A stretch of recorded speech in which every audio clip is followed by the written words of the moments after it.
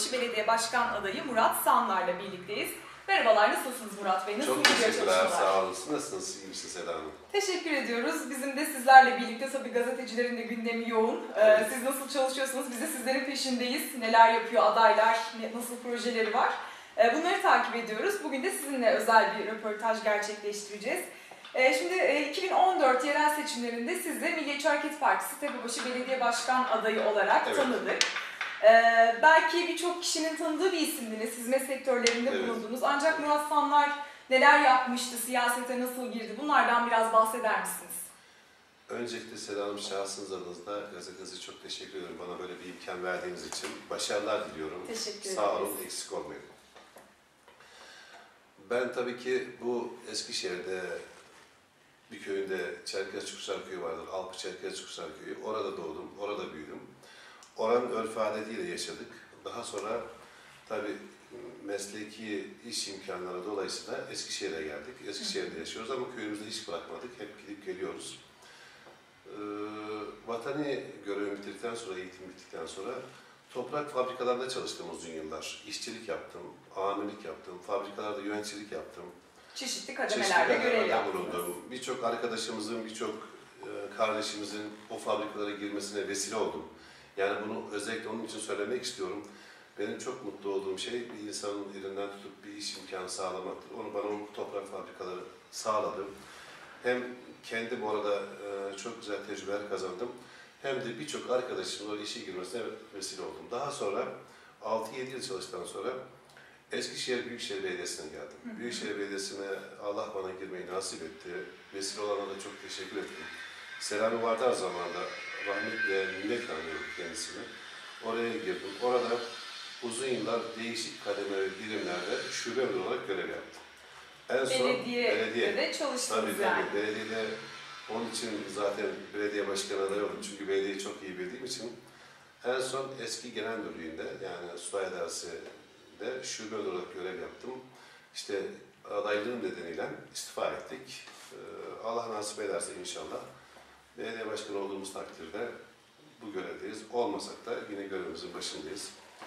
Tabii burada görev yaparken de hiçbir zaman hiçbir şekilde almış olduğum örf adet ve terbiye beni insan ayrımına, parti ayrımına, kişi ayrımına hiçbir zaman hiçbir şekilde fırsat verdirmedi. Hı hı. Çalıştığım süreler içerisinde hiçbir zaman da müdürlük yapmadım. Hep orada bir gelenlerin kardeşi, abisi, akrabası, bir ailesi gibi oldum. Yani siz geldiğinizde siz benim bir kardeşim gibi gördüm. Masanın hep öbür tarafını düşündüm. Yani bu şekilde uzun yıllar görev yaptık. Eskişehir'in birçok e, yerinde işte ne vardır, ne yoktur, yağmur rüzgarısı nerede var, altyapısı nerede var, hangi mahallede, hangi sokakta kaçlık boru var. Yani bunları çok iyi bilen biriyim. Hangi mahallenin park sorunu vardır, yol sorunu vardır, işte hangi mahallede neler eksiktir bunları tabii ki 20 yıldan beri belediyenin içinde olduğum için belediyelerde doğumdan ölüme kadar insanlara hizmet kapısı olduğu için çok iyi bilen bir, bir kardeşiniz gibiyim. Daha sonra tabii insanlar sevgim ve muhabbetim benim sivil toplum örgütlerine vesile etti. Kızılay biliyorsunuz bir şefkat ve merhamet Evet. vardır. Buraya seçimle girdim. Seçimle girdikten sonra uzun yıllar burada yönetim kurulu üyeliği, genel sekreterlikler yaptım. Burada şu beni mutlu eden şey işte bir emek mahallesinde ihtiyacı olan, mağdur olan, kimsesi olmayan kişilere ulaşabildim. Hı hı. Gittim onların sorunlarıyla dertleştim. Onlarla oturdum. O üşüyen, odunu kömür olmayan amcalarla beraber oldum. Hiç işte sabahleyin yani evinde bir ekmek alamayacak bir teyzeyle beraber oturduk. Şu an baktığınızda arabamın arkasında benim belki de erzak vardır. Ama tabii bunu ben şu an aday olduğumuz için söyleme gereğini duyuyorum. Bu yapılan e, insan adına iyilikler Allah'la kul arasındadır. Hiçbir zaman bir, bir insanın, bir fakirin başını okşarken yani Allah'tan başka kimsenin görmesini istemem. Ben bunu yıllardan beri yapıyorum ama kimse de bilmez. Bilir beni, çok insanlar bilir ama reklamını yapmam. Arkamda kameralarla gezmem veya ne bileyim bir cenazeye gidip, bir düğüne gidip, cenazeye gidip ağlamasını bilirim, düğüne gidip oynamasını bilirim. Ben boş vakitlerimde en çok beni mutlu eden şey hastanelere gidip tanıyayım, tanımayayım, hastane ziyaretleri yapar.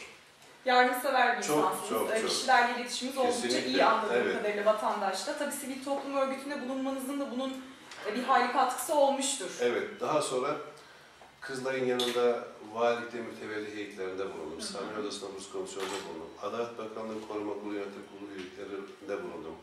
Tabii ki bunlardan hiçbirinden ben maaş almadım. Maddi bir çıkarım ve Gönüllü olarak yoktu. çalıştınız. Bunlar hep gönüllüydü. Tabii gönüllü esastır ama bunların bir sorgulanması da vardı. Yani bu atmış olduğumuz her imza belki trilyonlara imza atıyorduk. Ama elimi vicdanıma koyduğum takdirde işte gelen insanlara inandığım takdirde hiçbir zaman hiçbir şekilde de parayı da düşünmeden vereceğim hesabı Allah'a vereceğim için çok rahat bir şekilde bu insanlara fayda olmaya çalıştım. Peki siyasete e, girmeyi nasıl düşündünüz? Var mıydı kafanızda? Teklif nasıl geldi? Neden MHP'yi seçtiniz? Başka partilerden de teklif aldınız mı? Sonuçta bu kadar aktif ve faal birisini bilmiyorum birçok parti belki kendi belediye başkan adayı olarak görmek ister. Kesinlikle. Tabii e, siyaset insanın bütün yaşam süresince her insanda siyasetin bir ucu vardır. Ama kimisi siyaset içerisine girir, kimisi dışarıdan destekler. Ama ben hep siyasetin içinde oldum. Bir siyasi geçmişiniz var Geçmişim zaten. var tabii. Ee, bir de siyaset, şey, politika çok değişik bir olaydır. Neden MHP denildiğinde, e, pardon siyaset bir insan sevgisidir. Hı hı. Yaptığım işlere baktığımda tabii bunlar hepsi bir siyasete bir iyi niyetli olduğunu takdirde bir araç gibi gördüm. Evet. Neden MHP denildiğinde ben doğdum anamdan bir çizgi üzerinde yürüdüm. Hiçbir zaman o çizginin ne sağına geçtim ne soluna geçtim. Bugüne kadar hep o yolda yürüdüm. Ee, ve birçok partilerden bana teklifler tabii ki geldi. Ee, işte değerlendirmek istediler, çağırdılar. Ama ben hepsine çok teşekkür ettim. Yani benim idealim durmuş olduğum çizgi üzerinden siyaset yapmaktı. Değiştirmediniz yani. Değiştirmedim ve hatta şunu söylüyorum ben her zaman da söylerim. Allah bunu nasip ettiyse bana belediye başkanlığını olacağım. Eğer etmediyse ben bu davada durmuş olduğum çizgi üzerinde benim bir eşim var, bir de evladım var oy kullanacak. Bir kızım var, onun da yaşı tutmadığı için üç tane oy alırım. Evime huzurlu bir şekilde dönerim. Bu şehirde alnı ak, yüzü ak, onurlu ve şerefli bir şekilde gezerim diye düşünüyorum. Onun için MHP'yi Tercih. Evet. Ee, peki e, Murat Sanlar'ı tepe başındaki seçmen nasıl tanıyor? Nasıl tepkiler alıyorsunuz? Teobaşı benim bölgem. Ben orada çok kaldım. Okul yıllarım hep orada geçti. Birçok akrabalarım, eşim, dostum Teobaşı bölgesinde. Tabii ben şehri bütünüyle, köyleriyle seven ve gezen biriyim. Ama Teobaşı'nda benim böyle bir sanki kendi yuvam gibi gördüğüm için Teobaşı bölgesini seçtim. Bir aidiyet duygunuz var belki Var, de. ayrı bir duygum var. Ki bu arada tabii Teobaşı'nın sorunlarını çok iyi bildiğim için Teobaşı bölgesini seçtim. Orada yaşadığım için, sorunlarla, insanlarla iç içe olduğum için Teobaşı bölgesine aday olmayı tercih ettim. Nasıl tepe başındaki seçmenin size olan tepkileri? Çok güzel. Yani tanıdılar mı sizi iyice? Nasıl tepkiler alıyorsunuz? Şimdi zaten Seda Hanım ben e, tabii siyaseti ve adaylığımı hemen işte e, bir, bir Aralık'ta pardon bir Aralık'ta istifa edip Hı hı. iki Aralık'ta tanınmaya başlamadığım için yıllardan beri insanların ve halkın Zaten yaşadığım bilinen için yapmış olduğum bu olaylar Murat Sanlar o zaten birçok insanlar beni tanıdığı için hiçbir sıkıntı çekmedim. Ve Teobaşı bölgesinde de çok güzel böyle e, şeyler alıyorum, e, elektrik alıyorum. Birçok insan, birçok arkadaşım, birçok kardeşim bu konuda destek veriyor. Ben e, aday olmadan önce de zaten geziyordum. Ve bir beklentim olarak değil, o gezerken de ben yani işte aday olacağım, herhangi bir siyasi bir görüşüm var, belediye başkanlığı, milletvekili falan değil.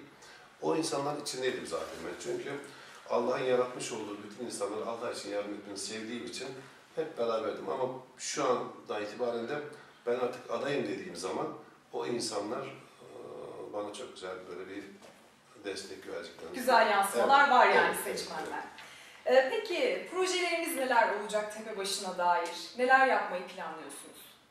Teobaşı Belediyesi'ne tabii ki e, proje e, hepimizin de bildiği gibi bütün siyasiler, bütün adaylar hemen şunu söylüyorlar. İşte Eskişehir'de bir trafik sorunu Evet. var. Eskişehir'de bir imar sorunu var. Eskişehir'de bir sosyal projeler sorunu var. Tabii ki Teobaşı'nda özellikle trafik sorunu çok.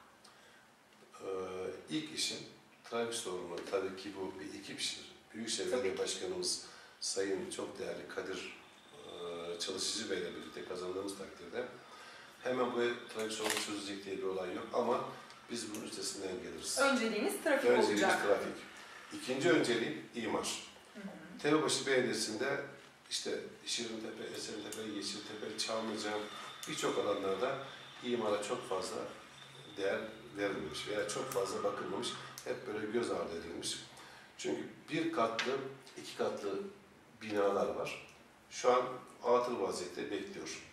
Eskişehir'in imarı, Eskişehir'e 2 milyon nüfusa yetecek bir imar planı var. Ama bir bakıyorsunuz buralara durmuşken işte kenar mahallede, e, aşağı Söğütü'nde veya ne bileyim Anadolu Üniversitesi'nin karşısındaki tarım alanları imara açılması düşünülüyor. Ben ona karşıyım. Neye karşıyım? Öncelikle şehrin içerisindeki bu imarları geliştirelim, ondan sonra diğerlerini yapalım diye düşünüyorum.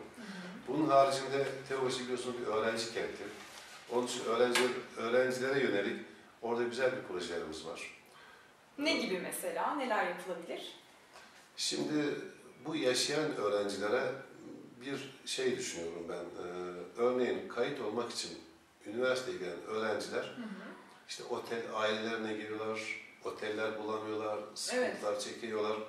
Ben bir belediye ekibi oluşturarak bunlara işte o gelen misafirler adına bir pansiyon, otel, ücretsiz. Çok güzel. Gelen misafirler Zaten Eskişehir'de genel anlamda bir otel sorunu var. Var. Ki bu kayıt dönemlerinde Evet. bir hayli artıyor. Evet. Bu gelen öğrenciler eskisi bir istasyonda veya otogarda Hı hı. bu arkadaşlara bir reklamı yapacak ve bunlar karşılanacak.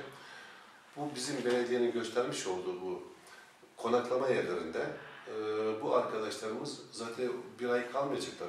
Bir iki gün Birkaç. kayıt may birkaç gün birkaç gün burada misafir edilecekler. Peki bu tek bir merkez mi olacak yoksa bölüm bölüm mü yapacaksınız farklı yerlere? Çünkü bir hayli kalabalık geliyorlar Tabii bölüm bölüm, biliyorsunuz. bölüm yani bir yere zaten bunları karşılayamazsınız. Evet, bölüm sığdıramayabilirsiniz. bölüm olacak bunlar. Yani tabi bu gelen öğrenciden biz o talepleri alacağımız ona göre kimseyi mağdur etmeden herkese hemen hemen yetmeye çalışacağız. Yani bu benim için çok önemli bir projedir. Güzel bir proje gerçekten. Öğrencileri ve öğrenci Tabii, tabii. velilerini de ciddi Tabii. anlamda memnun edecektir bu. Kesinlikle. Yani öyle düşünüyorum gerçekleşirse eğer. Peki başka neler yapacaksınız kadınlar için, engelliler için, yaşlılar için ya da çocuklar için? Şimdi yaşlılar için çok güzel bir projem var. Örneğin kimsesi olmayan veya bakıma muhtaç olan anne babalara bir huzur köy, şehir değil de köy olarak düşünüyorum. Burada bir bunlara barınma yeri. Artı aynı çatı altında anne baba terk etmiş, kimsesiz çocuklar, öksüz çocuklar, işte çocuk esirgeme kurumunu görüyorsunuz. Evet. Ben bunları aynı çatı altında toplayıp burada e, bir yaşam huzur köy adı altında bir projem var. Burada ne olacak Seda Hanım? İşte anne baba hasreti çeken o yavrular o yaşlılarla beraber anne baba hasretini giderecekler. Evlat hasreti çeken yani bizde olmaz da işte evladının anneye babaya bakmayanlar vardır veya gitmeyenler vardır. Ee, anne baba çok hasret çeker, evladını görmek ister. Orada o kimsesiz, yetim kalan çocuklar da onlar da çocuk hasretini giderme adına orada Güzel. güzel bir projemiz var. Birlikte olacaklar. Birlikte olacaklar, beraber yaşayacaklar. Evet. Orada işte hep iş imkanları olacak, sosyal projeler olacak. Yani böyle bir huzur Eğitim de alacak yani çocuklar. Kesinlikle tabii. Kendilerini de Bir geliştirecekler. okul gibi olacak. Evet. Engelliler adına bu engellileri de tabii en çok engelleri e, anlayabilen, tanıyabilen kişi benim diye düşünüyorum. Çünkü ben de bir engelli babasıyım. Evet. Down sendromu bir kızım var benim. Çok e, tatlı, çok seviyorum ben onu. Ben zaten birçok engelli e, okullarda olsun, birçok engelli kardeşlerime e, her konuda, her şekilde yanlarındayım şu an. Şu ana kadar. Ama o makamlara geçtiğim takdirde engellilerle çok güzel bir projemiz var. Yani Ne onları olacak? işte e, bir evde bakıyorsun ki bir iki, bir iki engelli var. Veya büyüyor, aile bunları artık yani e, kontrol altına alamıyorlar. Veya sokaklarda gezen engelliler var. Ya da işte terk ediliyor, anne baba artık maddi imkanları da güçsüz. Terk ediliyor, engelliler yalnız başına kalıyor. Veya bir anne başına kalıyor, veya bir baba başına kalıyor. Ben düşünüyorum ki bizim yaşama hakkımız kadar da bir engelli Tabii ailesinin ki. babasının yaşama hakkı vardır diye düşünüyorum. Bu engelli kardeşlerimiz de aynen böyle bir huzur engelli proje adı altında toplayarak öyle sabah getirip akşam alma adına değil. Devamlı orada kalacaklar. Ve onlara iş imkanı. Bunların her şeyi belediye bütçesinden mi Kesinlikle karşılanacak? belediye bütçesinden. Ve orada bunlar yaşayacaklar. Orada bunlar iş imkanları. Bunlara sosyal proje yapacağız orada. Çünkü engelli kardeşlerimizin birçoğu çalışmaya müsait engeller de var.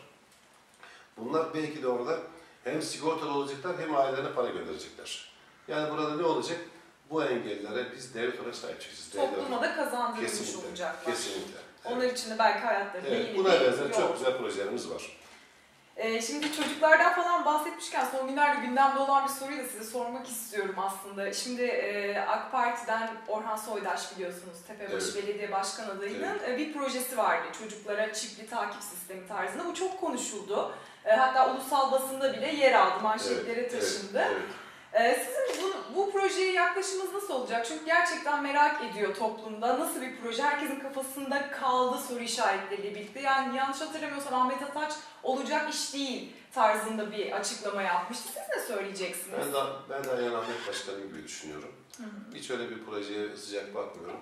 Zaten bu yapılacaksa bu tür e, ihtiyarlar olsun, çocuklar olsun, yaşlar olsun buna birebir dokunarak yardım etmeyi diye düşünüyorum. Böyle bir şey siz Evet, de ben de karşısınız karşıyım, yani. evet, ben de karşıyım. Peki sizin de bu tarz böyle ses getirecek bir projeniz var mı şimdiye kadar söylemediğiniz? Yani ilk bizimle paylaşmak ister misiniz? Tabii ki var ama ben onları daha sonra açıklamak istiyorum. E, tam da bu konuda şunu da söylemek istiyorum. E, sivil toplum örgütlerinden bir takım açıklamalar geliyor. İşte adaylar projelerini anlatmıyorlar. Hiçbir şeyden bahsetmiyorlar. Sürekli ziyarette bulunuyorlar diye. Bunu nasıl yorumluyorsunuz? Yani projeler için neden e, bir bekleme sürecine girdi adaylar? Yani birçoğu projesini aslında açıklamıyor. Ya Mart başını mı bekliyorsunuz? Nasıl bir yol izliyorsunuz? Bizler de merak ediyoruz. Hanım ben aslında hiç öyle düşünmüyorum. Çünkü niye? Bu şehir adına, bu şehirde yaşayan bu güzel insanlar adına eğer yapılması gereken bir proje, işte A partisi, B partisi adayları hangi parti olursa olsun güzel bir proje ise ben bunu açıklansın diye düşünüyorum. Evet. Herkes söylesin. E, Kim aday olur da kazanırsa bu belediye başkanlığını o projeyi hayata geçirsin diye düşünüyorum. Çünkü buradaki bizim amacımız nedir?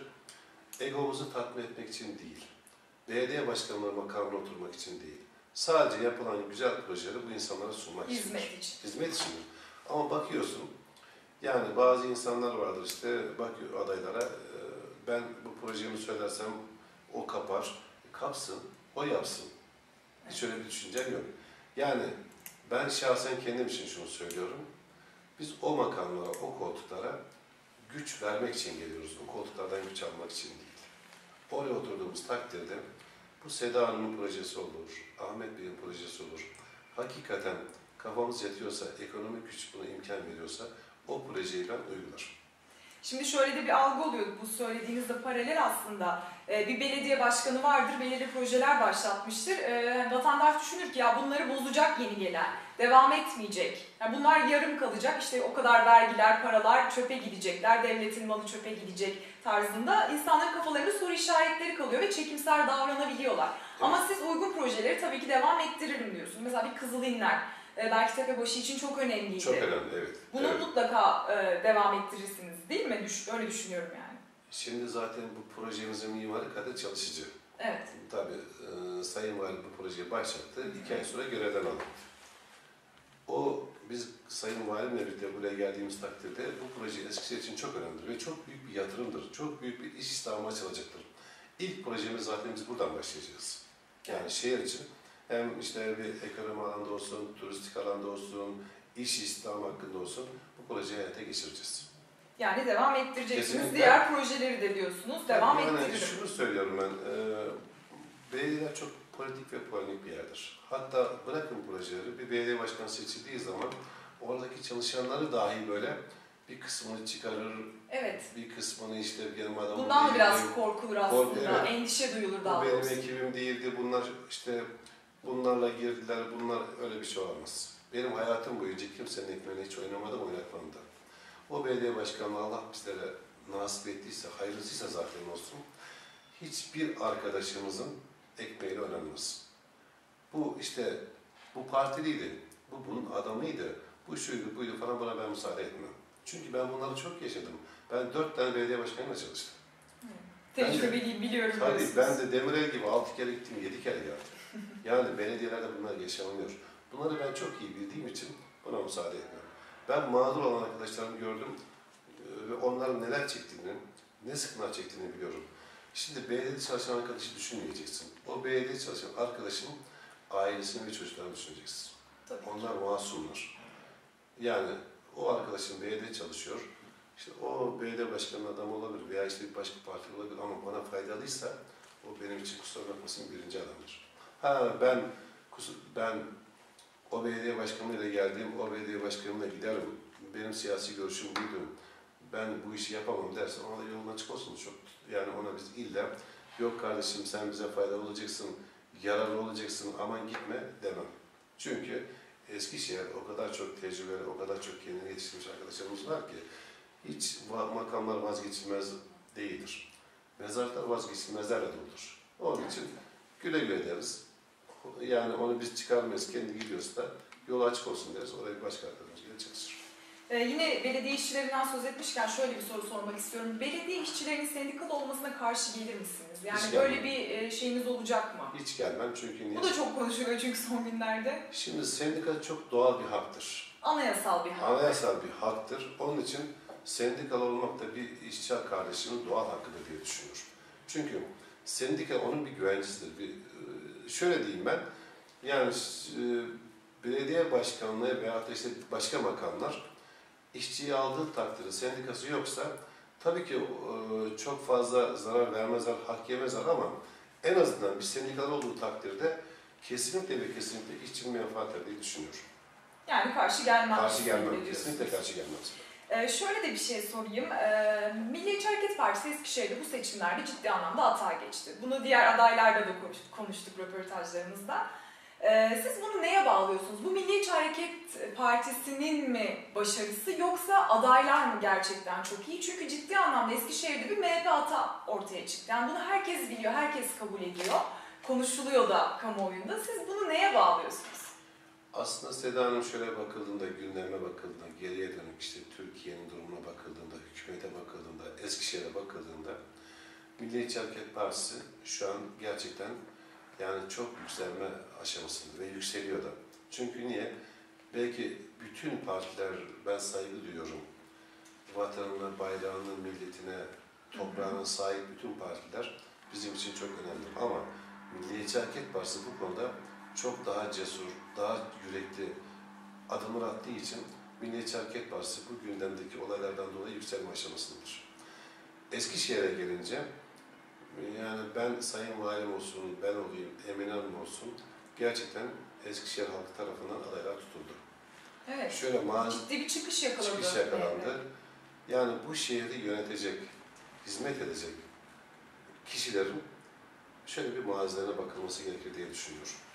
İnsanlar bir yere hizmet ederken anılarıyla, hatıralarıyla, mazileriyle hizmet ederler. Hı hı. Eğer senin mazinde, hatıranda iyilik yoksa, kötülük çoksa edemezsin. Ama bizimkilere bakıldığında Sayın Valim olsun, ben olsun, Emine Hanım olsun, bizim hep böyle fakir, fukara, gariban, ihtiyaç sahibi insanlarla hayatımız geçmiştir. Evet. Ben bu şehre çok şeyimi verdim. Sağlığımı verdim. Maddi manevi çok şeyimi verdim. Onun için tabii ki Milliyetçi Hareket Partisi yani işte vatan bütündür, bayraktır, millettir, yürekliliktir adına yükseldi. Ama Eskişehir'de de adaylar buna güzel bir etken oldu. Bundan dolayı da şu an Eskişehir'de Milliyetçi Hareket, Milliyetçi Hareket Partisi çok güzel bir ivme yakaladı. Çıkış yakaladı. Peki son soruya geçelim. Murat Sanlar nasıl bir belediye başkanı olacak? Allah- Şayet ki sandıktan zaferli çıkarsa. İnşallah, inşallah tek temennimiz Allah o günleri bize gösterdiği takdirde Murat Sanar geçmişine nasılsa. Nasıl bu insanları ayırmadan, ötelemeden, kimseyi incitmeden, dürüst, Allah'tan korkan bir kişi olarak yaşadıysa, sadece ben belediye başkanı olduğum takdirde aynı sıfatlarla yaşarım. O makam beni sadece hizmet alanında değiştirir. Kişiliğimde ve şahsımda bir değişiklik olmaz. O makamlarda dürüst, Allah'tan korkan, haram yemeyen, kimseyi ayırmayan, herkesi kucaklayan ve hani derler ya kapılarımız hep açık olacak diyen, ben o kapıları hep açık tutacağım ama ben o kapılara gideceğim. O halkın içine gideceğim. Yani Ben sorunları sadece belediye oturup beklemeyeceğim. Bugün nasıl geziyorsam Çamlıca'da, Şirintepe'de, Esentepe'de, işte Sütlüce'de aynı o şekilde gidip oralarda o arkadaşlarımın sorunlarını dinleyip onların sorunlarını orada çözeceğim. Evlerine gideceğim. Yine misafir olacağım. Yani sorunları orada dinleyip orada çözeceğim. Bir ekip kuracağım mahallelerde. Bu ekip gezecekler, dolaşacaklar. Ve onlar bana yetişemediğim yerlere bilgi getirecekler. Yani Allah'ın izniyle inşallah bütün insanlara dokunabilme adına böyle belediye başkanlığına Yine halkın içinde, İçinde olacağım olacağım. diyorsunuz. belediye çalışanlar adına şunu söylemek istiyorum. Aynı şekilde o arkadaşlarımız hiçbir şekilde mağdur ve ma- muzdarip olmayacaklar. Bütün herkesi kucaklayan bir belediye başkanı olacak. Peki var mı seçmenlerinize söylemek istediğiniz bir şey son olarak? Seçmenlerime ben 30 Mart 2014 belediye seçimleri, belediye seçimlerinin çok önemli olduğunu söylüyorum. Bu sandığa giderken bir kere değil de en az 100 kere düşünerek, ellerini vicdanlarına koyarak, çoluğunu, çocuğunu, vatanını, milletini düşünerek, yani o benim adamıydı, bu benim adamıydı demeyerek oy kullanmanı istiyorum. Ve yapılacak bu seçimlerin şahsınıza ve şahsımıza, şehrimize, vatanımıza ve milletimize hayırlara vesile olmasını düşünüyorum. Allah herkesin yar ve yardımcısı olsun diyorum. Peki. Sizlere de çok çok teşekkür ediyorum. Biz teşekkür ediyoruz. Biz de size başarılar Sağ diliyoruz Murat Bey. Çok sağ, olun. Sağ olun, çok teşekkürler, sağ olun. Birlikte bir fotoğraf çekelim.